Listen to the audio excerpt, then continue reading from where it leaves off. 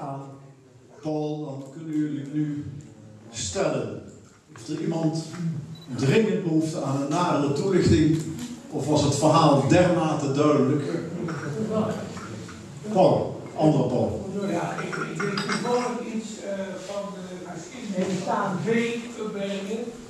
En daar komt een verhaal in voor dat onze meneer Torbekke, die onze grondwet gemaakt heeft, daar logeerde en altijd te paard naar Groesbeek ging, naar Stekkenberg, om daar te kijken naar de wezenwils, maar ze ergerde aan betelende kinderen. Nou, dat is, dat is zeker een makkelijk. Fantastische anekdote. Ik heb het nooit gehoord in verband met. Heel, heel interessant, ga ik opschrijven. Maar ik heb het vaker gehoord dat uh, mensen van de, uh, dus die, die daar in de buurt kwamen, werden lastiggevallen door betelende kinderen. En die dan allerlei acrobatische toeren uithaalden voor de, de koets uit en zo. En um, er is ook een verhaal dat de aanleg van de nieuwe weg bevorderd zou zijn, omdat mensen dan dat stukje door de Stekkenberg wilden vermijden. En uh, omdat ze dan lastig werden gevallen. Persoonlijk geloof ik dat niet, maar ik vind het te mooi om, om niet te geloven eigenlijk. Uh, want ik denk dat de nieuwe weg in de tijd van dat de auto werd opkwam, opgelegd is, omdat die veel geleidelijker naar beneden gaat dan die sterke Stekkenberg. Er is ook nog een verhaal waarbij uh, geld uit Haarstaal gegooid werd. Op de tekst van waar de trein door de Stekkenberg kwam, werden de muntjes uit de raam.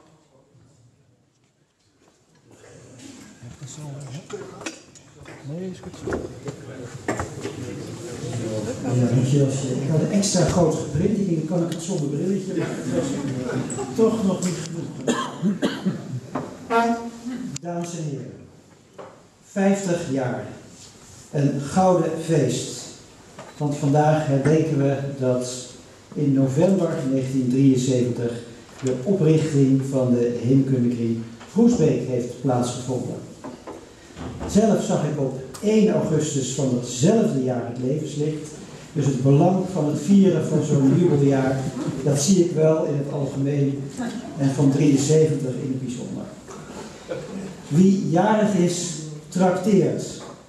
Dat is een oude traditie. En de heemkundekring is zich daarvan als geen ander bewust. Bij kroonjaar mag die tractatie nog wel wat royaler zijn dan in andere jaren. En ook dat heeft het bestuur zich goed in de oren geknoopt. En het trakteert Groesbeek dan ook op bijzondere wijze met het boek dat hier vandaag ten doop wordt gehouden. Over dat boek zo dadelijk wat meer. Maar eerst wil ik nog even stilstaan bij de schrijver ervan, Gerry Driessen. Zijn naam is al een paar keer gevallen. De verschijning ervan mag hij zelf helaas niet meer beleven, maar het is het 24ste boek van zijn hand. Even zoveel bijdragen aan de geschiedenis van zijn geliefde dorp Groesbeek. Daarnaast schreef hij in de loop van de decennia ontelbare bijdragen voor regionale kranten als het gemeentenieuws, de Gelderlander, Groesbeeks Weekblad, de Rozet enzovoort. Maar ook artikelen in Nijmeegse Katern, het jaarboek Numaga en werkte hij ook nog mee aan het boekwerk Gelderland Grensland. En zo zou ik door kunnen gaan. Vandaag is hij de voorzitter van het eerste uur er niet meer bij.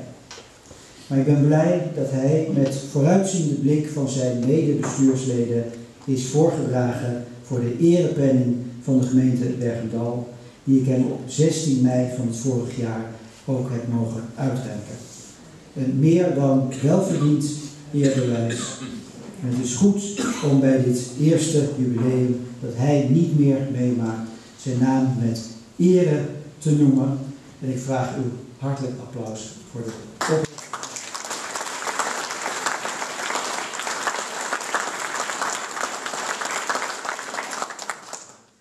Bij het 40-jarig jubileum werd in de Gelderlanden uit de mond van wederom Gerry opgetekend dat geen dorp in Nederland zo goed gedocumenteerd is als Groesbeek. Ik heb die bewering niet kunnen controleren, maar als die correct is, dan is dat niet, in niet geringe mate ook aan hem te danken geweest. En nu is er dan dit bijzondere boek, dat gewijd is aan de bezemwinders en al wat er verder aan activiteiten heeft plaatsgevonden in vroeger tijden op en rondom de Stekkenberg. Ik mocht het boek al wat eerder ontvangen en ik heb het inmiddels met heel veel belangstelling, maar ook met de nodige verbazing gelezen. Verbazing allereerst over de grote hoeveelheid oude foto's, meer dan 100 jaar oud, 120 jaar oud. Grote hoeveelheid documentatie die er blijkt te bestaan over dit bijzondere stukje Groesbeek. Een rijk stuk geschiedenis, maar ook wel een met een wat ongemakkelijke oorsprong. En rijk, heel nadrukkelijk tussen aanhalingstekens. Mijn voorganger, burgemeester Dommer van Poldersveld, rapporteerde in 1896, ook dus nog niet eens zo heel lang geleden, Stekkenberg, het Hordegat en de Bruuk, waar de bewoners als halve wilden wonen in heikplaggenhutten, ja in kuilen met een dak erop en een oude kachelpijp als schoorsteen. En waar die kleine witte huisjes dus als vooruitgang werden gezien. Met hoeveel gejuich ze later ook afgebroken zijn. Een enkel voorbeeld van een dergelijke onvoorstelbare huisvesting. Lang geleden is ook op de gevoelige plaats vastgelegd. Net als de doodarme bewoners. Kinderen en bejaarden, we hebben er net ook van gezien, maar het boek staat er vol mee. Schabel gekleed en op blote voeten. En je zou je kunnen voorstellen dat weldoend Nederland, dat was er in die tijd, bij de aanblik van zoveel gebrek de handen ineen zou slaan om aan die bittere armoede wat van de scherpste randjes te ontnemen. Maar nee, al lezend krijg je eerder de indruk, en Paul gaf het ook al aan, dat er nogal wat kranten en tijdschriften met journalisten en fotografen speciaal naar de Stekkenberg trokken om daar voor hun lezers schilderachtige tafereelen vast te leggen. Situaties die je elders in Nederland kennelijk al niet meer aantreft. Een soort ramptoerisme haast. Je zou er nu Giro 555 voor openstellen. Met moderne ogen vinden we daar wat van. En ook destijds is dat aspect niet onopgemerkt gebleven. Maar mocht er ethisch dus het een en ander mankeren, al die journalistieke belangstelling heeft er wel toe geleid dat er heel wat is vastgelegd. In verhalen en op beeld. Van een groep mensen die anders stilletjes in vergetelheid zou zijn geraakt. Een manier van leven is hiermee voor ons aanschouwelijk die haast niet meer voor te stellen is. Een sprekende foto uit het boek vind ik er een van een 67-jarige bezembinder die gehurkt heide voor de bezems aan het snijden is. Met een elasticiteit die veel van de aanwezigen hier niet meer op zullen kunnen brengen. We gaan het maar niet proberen om eh, de hulpdiensten niet al te zeer te belasten. En zeker niet gedurende langere tijd.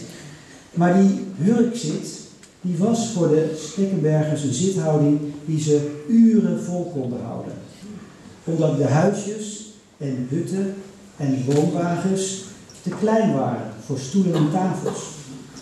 En men zat van jongs af aan zo in huis, omdat veel van de vloeroppervlakte ook werd ingenomen door stapels heide die buiten nat